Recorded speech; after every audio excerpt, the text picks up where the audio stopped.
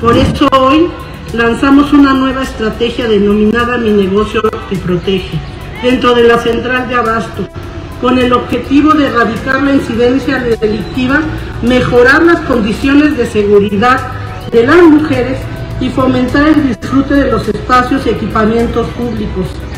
Es muy importante visualizar que si un espacio público, un equipamiento público, como es la central de abasto, se convierte en un lugar seguro para las mujeres, también será para todos y todas. Mi negocio te protege es eh, o parte de una concepción solidaria entre los habitantes y los comercios de la Ciudad de México.